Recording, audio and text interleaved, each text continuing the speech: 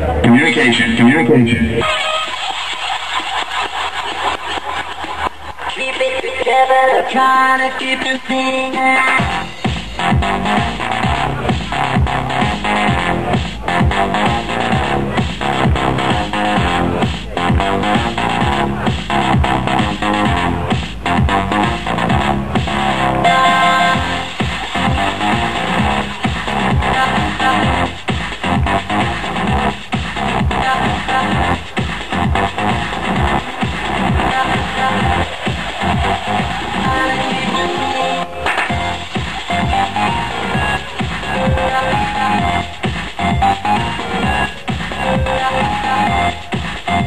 Thank